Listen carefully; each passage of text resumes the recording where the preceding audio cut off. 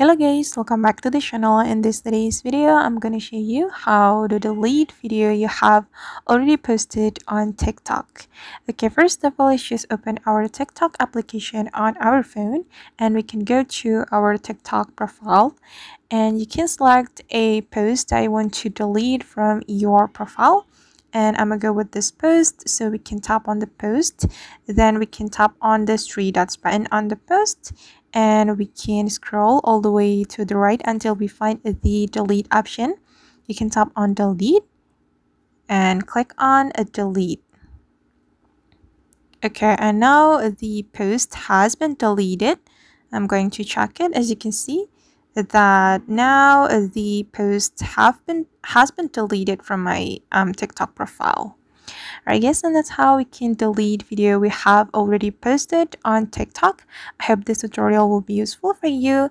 Thank you so much for watching and if you found this tutorial helpful, don't forget to hit the like button, leave your comments and also subscribe to this channel. See you on the next video.